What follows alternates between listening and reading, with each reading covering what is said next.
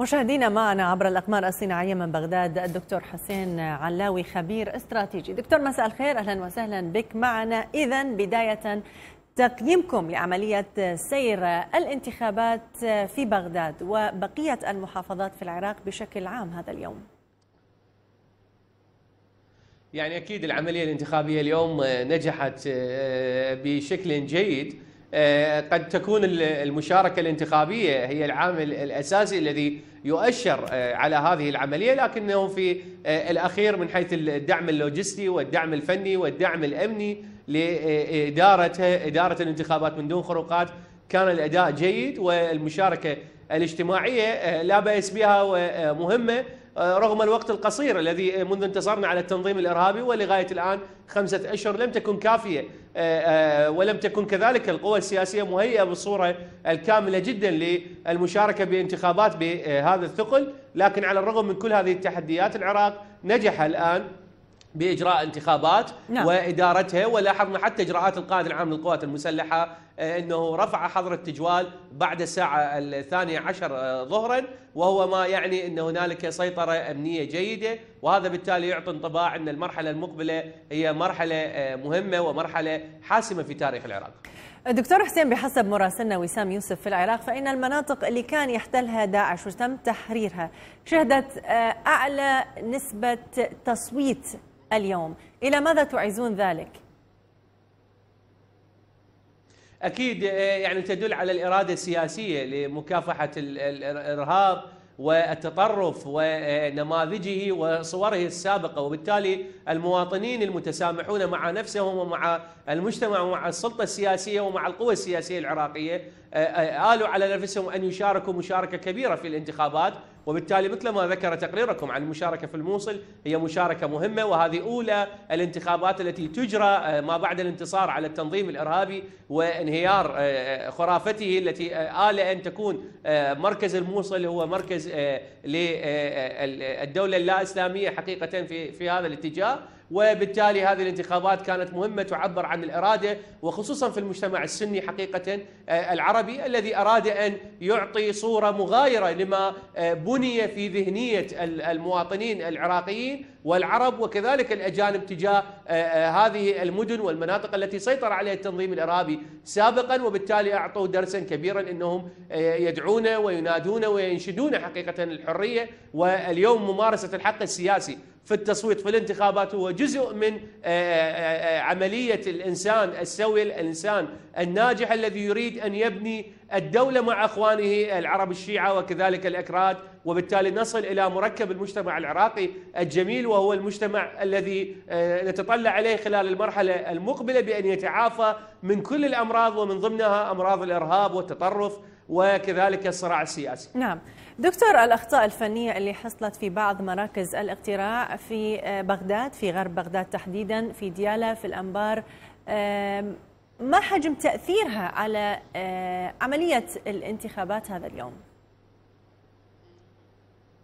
يعني أكيد حجم التأثير. مثلا على الجانب الفني كان هنالك تعطل بنسبة 5% من الأجهزة وإعادة تشغيلها مرة ثانية. هذه أثرت. قضية ثانية قضية البطاقة وتجديدها. تعلمين حضرتك إحنا بالعراق يعني بسبب الإرهاب وبسبب المشاكل الأمنية وكذلك التنافس ما بين القوى السياسية لم يكن الوقت كافي لتطوير ثقافة الناخب وبالتالي هذه الثقافة لم تتطور وكذلك ثقافة الاستخدام من قبل العاملين داخل المراكز الانتخابية والمحطات الانتخابية وهذا ما جعل انسيابية المشاركة لأنه البعض ذهب للتصويت حقيقة لكن لم يستطيع أن يصوت بسبب عدم تجديد بياناته وكذلك بالمقابل المراقبين السياسيين للقوى السياسية كان المفروض في بعض المحطات الانتخابية أن يلتزموا الحيادية وعدم التثقيف للكيانات لكن البعض آل على نفسه أن يدفع بهذا الاتجاه وذلك الاتجاه لكن على الرغم من كل ذلك هنالك نجاح أن اليوم الانتخابي لم يشهد خروقات أمنية وأن النتائج الانتخابية قد تظهر خلال 48 ساعة وهي القضية المهمة والحاسمة لوضع العراق ومستقبل العراق ما بعد الانتصار العسكري الذي لابد أن يترجم إلى نصر سياسي للمجتمع بأن تعود اللحمة الاجتماعية وأن تظهر لديه لدينا حكومة ناجحة حكومة فعالة. لن تكون قوية بالصورة التي نتصورها. لكن على الرغم من كل ذلك ستفهم محيطها العربي ستفهم وتتفاعل مع متطلباتها الاجتماعية ومتطلباتها من حيث الأداء الخدمي. وكذلك من حيث السياسات نعم. العامة التي ستقدم جزء من تعزيز المناخ الوطني الذي بدأ به السيد العبادي ونجح به مع الفرقاء السياسيين والآن سننتقل إلى فضاء أكبر وفضاء الوطني وبالتالي هذا الفضاء يجب أن يسعى إلى تعزيز عملية الاستقرار ومكافحة التطرف وتحقيق التنمية. دكتور من خلال نظرة شاملة على المعطيات الحالية على الأرض في العراق، ما هي النتائج المتوقعة؟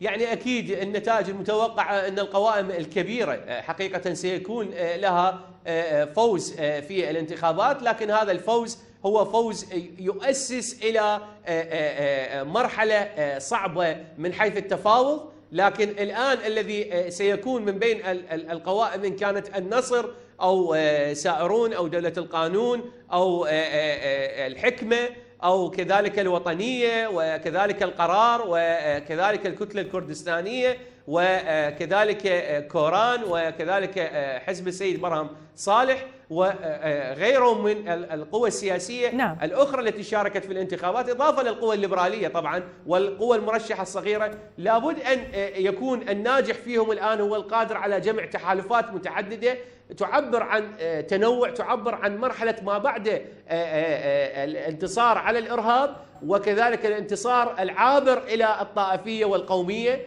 وبالتالي هذه القوائم كلما احتازت على التنوع احتازت على قبول مكونات اجتماعية وعبور آه، لغة المكون إلى المكونات الاجتماعية هي التي ستكون مؤهلة حقيقة لتشكيل الحكومة العراقية وتشكيل حتى الكتلة الأكبر داخل البرلمان، اللعبة الآن في هذه الانتخابات تغيرت، كانت في السابق تقوم اللعبة السياسية على تقاسم السلطة وتقاسم الثروة، الآن هنالك مشاركة مع المواطن والمواطن بالتالي سيسائل الحكومة العراقية وسيكون عمرها قد يكون قصير إن لم تصل إلى الاهداف المنشودة من قبل المجتمع العراقي. وهذا ما يجعل الآن القوى السياسية لابد أن تكون آه، ذات رؤية آه، جامعة إلى أكثر من طرف آه، قومي أو عرقي أو إثني أو طائفي. وبالتالي يبنى التنوع داخل القوائم وعلى اساسه سوف يحوز على ثقة نعم. المجتمع السياسي وثقة القوى السياسية الفائزة في تشكيل الحكومة العراقية. شكرا جزيلا لك على هذه المشاركة. حدثنا عبر الأقمار الصناعية من بغداد الدكتور حسين علاوي خبير استراتيجية